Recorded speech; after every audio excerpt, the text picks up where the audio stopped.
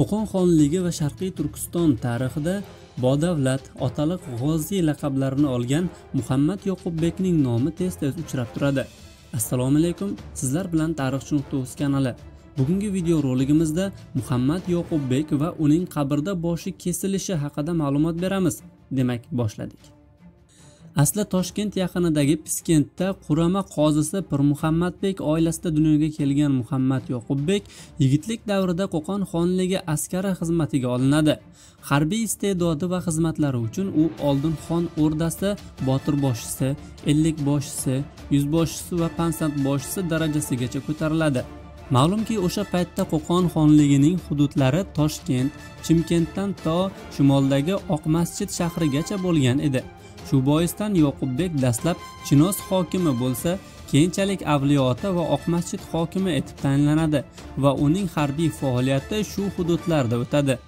Bu davrda chor rossiyasi qo'qon xonligiga qarashli yerlarga ko'z tikib ularni bosib olish payiga tushadi va harbiy qo'shin yo'llaydi. Oqmasjid hokimi etib tayinlangan yoqubbek rus askarlariga qarshi mardlarcha kurash olib boradi.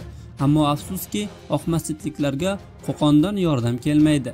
Natijada qo'qon xonligining eng shimoliy qal'asi qo'ldan ketadi. Aytishlaricha bu haqda o'sha paytdagi qo'qon xoni xudoyorxonga xabar yetganida u oqmasjidgacha necha kunlik yo'l deb so'ragan ekan. Bir oylik deb javob berishganda esa xon oho shunchalik uzoqmi? Unday bo'lsa qo'ldan ketsa ketar deb javob qaytargan ekan. Shu paytda qo'qonga kelgan yoqubbek xonlikning katta bir viloyati xo'jandga hokim etib tayinlanadi. Ammo ko'pni ko'rgan sarkardaga qo'qon taxtiga o'tirgan xudoyorxonning davlat siyosati yoqmaydi va unga qarshi ish boshlaydi va xonni oradan ko'tarish rejasini tuzadilar.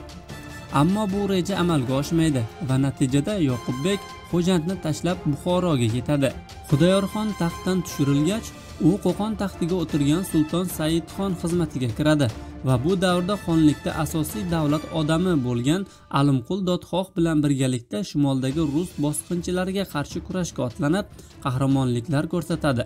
Yoqubbek alimqul dodxoh bilan birlashib toshkentda rus bosqinchilariga qarshi janglarda ishtirok etadi. O'sha davr kishilarining fikricha yoqubbek botir bu janglarda oxirigacha qatnashganda toshkent qo'ldan ketmasligi mumkin bo'lar ekan. Shu asnoda qo'qon xonligiga qarashli bo'lgan qo'shqar tarafdan muhim xabar keladi. Bu yerda xitoy manjur bosqinchilarga qarshi kurash olib borish va qo'qon xonligi hududlarini saqlab qolish zarurati tug'iladi va yoqubbek bu davlatga voris bo'lgan buzruqxo'ja degan amaldorning harbiy yordamchisi sifatida qo'shqarga keladi. Ammo buzruqxo'janing davlat boshqaruvida qobiliyati yo'qligi tufayli muhammad yoqubbek yorkentda hokimiyatni qo'lga oladi va qo'shni yettita shaharni qo'lga kiritib yetti shahar davlatiga asos soladi. Bu o'sha davrda qo'qon xonligiga qarashli mazkur hududni o'ziniki qilib olishga tayyor turgan xitoy manjur xonligi uchun kuchli zarba bo'ladi. Yoqubbek botir bu yerda davlat tizginini mahkam tutib yerli aholini xitoyliklar zulmidan qutqarib qoladi. Toshkent rossiya imperiyasi qo'shinlari tomonidan egallangach ruslar iskanjasidan qochgan minglab harbiy sarkardalar din arboblari qo'qonning ko'zga ko'ringan kishilari yoqubbek huzuriga kelib jon saqlashgan va unga xizmat qilishgan. Yoqubbek qo'shqarni qo'qon xonligiga qarashli davlat deb bilgan va qo'qon xonlari mallaxon hamda sulton saidlar nomidan tilla tanga chiqargan. Shuningdek u qo'qon va buxorodagi mashhur usta me'mor va naqqoshlarni ham oldirib kelib yetti shaharning turli shaharlarida madrasalar karvonsaroylar va boshqa binolar qurilishiga ishlatgan. Muhammad yoqubbek piskent toshkent oqmachit xo'jand avliyoota qo'shg'ar yorkent xo'tan kurla uchturfon makka madina kabi shaharlarda masjidlar maktablar turli binolar qurdirgan. U o'z davridagi atoqli ulamolar shoirlar o'qimishli kishilarni qabul qilib ularga moddiy va ma'naviy yordam berib turgan. Shuningdek aholining turmushi yaxshi bo'lishi uchun tirishgan va adolatli hukm yuritgan. Aytishlaricha u o'sha paytda ham mavjud bo'lib kelgan quldorlik tartiblariga chek qo'ygan. Aholiga qullar ushlash va ulardan foydalanishni man qilgan.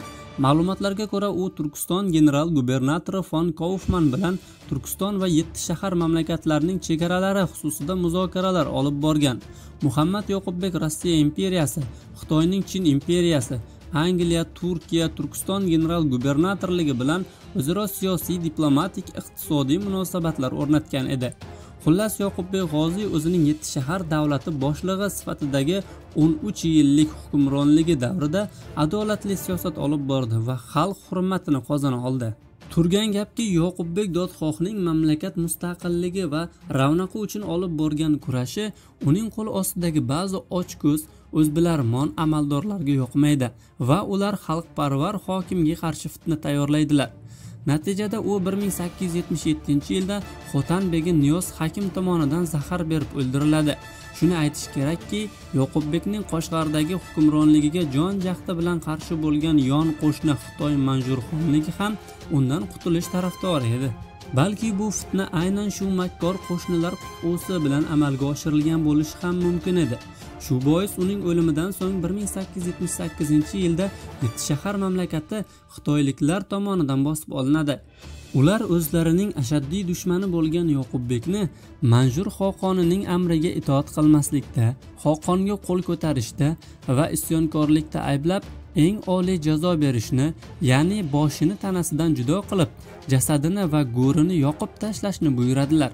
Mazkur hukmga binoan yoqubbekning qabrini ochib jasadini chiqarib olib o'lgan kishi ya'ni jasadning ustidan sud marosimini o'tkazadilar va hukmga ko'ra jallod hali butun saqlangan jasadning boshini chopib oladi. So'ngra manjurlar muhammad yoqubbekning boshini qo'shg'ar shahrining asosiy darvozasiga osib jasadni esa kuydirib tashlashadi. Bosqinchilar o'z millati mustaqilligi uchun kurashgan bu oliyjanob insondan shu tariqa shafqatsizlarcha o'ch olishgan edi. Ammo vatanparvar arbob yoqubbek botirning nomi erksevar ajdodlar xotirasida abadiy qoldi. E'tiboringiz uchun rahmat. Sizlar bilan tarixchi nuqta uz kanali bo'ldi. Biz bilan qoling.